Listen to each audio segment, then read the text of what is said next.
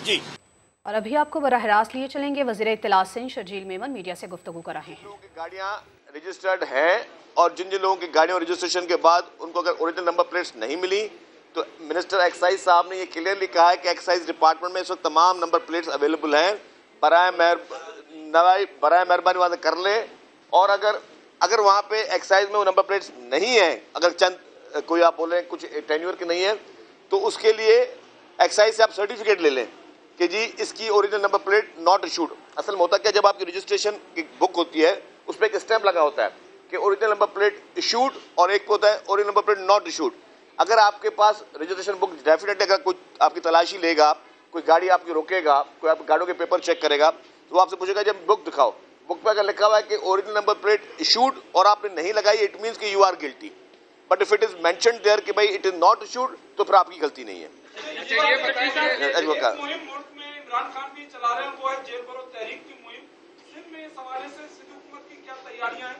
कि जेल भरो तहरीक के लिए जो पंजाब और केपी में फार्मूला हुआ या आप लोगों के पास कुछ और मजीद सहूलियात देखिए हमने तो उनको इतनी अच्छी ऑफ़र दी हुई है। इमरान खान के टाइगरों को कि जितनी भी टाइगर फोर्स थी जितने भी जवान थे कि आप पूरे मुल्क की तरह आप सिंध में भी इसको सेलिब्रेट करें। आपका बहुत बड़ा त्यौहार है इसको सेलिब्रेट करें। और उसमें एज ए ट्रांसपोर्ट मिनिस्टर ये मैंने वाहिद किसी को ऑफ़र दी है कि आपको free pick and drop service भी दी जाएगी। आप अपने नाम लिखवाएँ।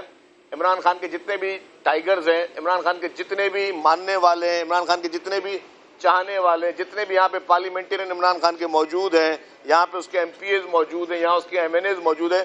बरए मेहरबानी, अगर हमें नहीं लिखवाना, आप हमसे बात करना चाहते हैं मीडिया में आके लिखवा लें। मीडिया को बोले, जी, मैं गिरफ्तारी देना चाहता हूँ। ये 10, 15, 20, 25, 50 जितने भी हैं जितने भी इमरान खान के पैरोकार हैं जितने भी समझते हैं कि लोग इमरान खान ने ये सही कॉल दी है इमरान खान पाकिस्तान के मफाद में जेल भरो तहरीक चला रहा है और जो लोग उसके पैरोकार हैं वो नाम लिखवाएँ। Pick and drop service as a transport minister देना मेरा काम है उनको। हाँ जहाँ से वो बोलेंगे अगर घर से बोलेंगे दफ्तर से बोलेंगे जहाँ से बोलेंगे पड़ोस से बोलेंगे असेंबली से बोलेंगे जहाँ से बोलेंगे वो सिर्फ़ अपना नाम लिखवाए थोड़ी सी मतलब इमरान खान इमरान खान को मैं समझता हूँ बहुत बड़ी मायूसी का शिकार है इमरान खान के। सिंध भर में कोई एक ऐसा शख्स नहीं है जो उसके लिए, उसकी कॉल पे लब्बैक कहे।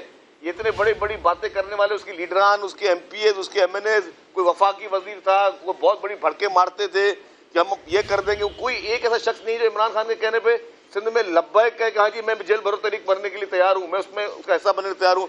तो ये, यही बात है। और मैं दूसरा मशवरा दूँगा इमरान खान को कि आप एक अब आलमी लीडर अपने आप को कहते हो। आपके पूरे दुनिया में आप कहते हो आपके पैरोकार हैं, आपके चाहने वाले हैं। तो एक और शुरुआत कर लें बरतानिया से इस मुहिम की। आपके बहुत सारे चाहने वाले बरतानिया में। बरतानिया में भी आप जेल भरो, तहरीक शुरुआत करें। और सबसे पहले जिस आप यहाँ पे कौम के बच्चों को कहते हो कि बाहर निकलो, गिरफ्तारी दो। आप अपने भी माशाल्लाह आपके तीन बच्चे हैं। हाँ आपने सही बात कही।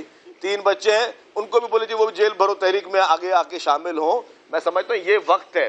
जिस इनकलाब की बात कर रहे हो जिस मुल्क में आप तब्दीली की बात करते हो जिस मुल्क में आप बहुत बड़ी एक चेंज लाने की बात करो यही वक्त है कि आप शुरुआत करें।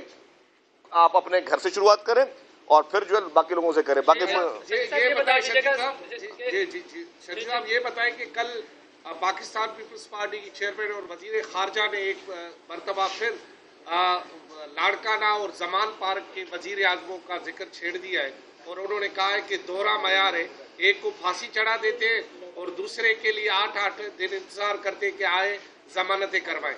तो ये जो दोहरा मैार है और जो आप पहले भी कहते रहे हैं कि इमरान खान लाडला है यकीनन अब वो लाडलापन उसका जारी है या खत्म हुआ है? देखिए ये तो एक आ, हिस्ट्री हमें जब गवाही देती है ना हर चीज़ों की।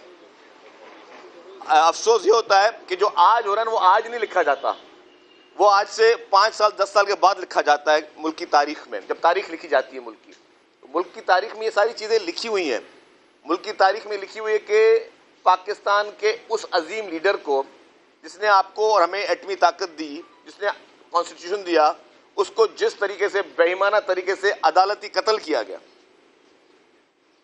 अदालती कत्ल जिसको पूरी दुनिया ने माना, अदालती कत्ल था। उसके बाद मोहतरम आसिफ अली जरदारी जब सदर पाकिस्तान बने, उन्होंने सुप्रीम कोर्ट में एक रेफरेंस डाला। और उन्होंने कहा कि जी इसका हमें फैसला करके दो। उस अदालती कत्ल का। आज दिन तक सुप्रीम कोर्ट ऑफ़ पाकिस्तान उस अदालती कत्ल पर हेयरिंग नहीं कर रहा। आज दिन तक क्यों नहीं कर रहा? वैसे तो आप छोटी छोटी चीज़ों पे सुओ मोटो नोटिस ले लेते हैं और डेली उसकी हेयरिंग्स चल रही हैं। लेकिन जो हेयरिंग आपको करनी चाहिए, मुल्क के आइन के खालिक, एटमी ताकत के खालिक मुल्क के इस, इस मुल्क में वज़ीर इतला सिंह शर्जील मेमन मीडिया से गुफ्तु कर रहे थे। उनकी जानब से ये कहा गया है कि नंबर प्लेट्स ना मिलने पर सर्टिफिकेट भी लिया जा सकता है।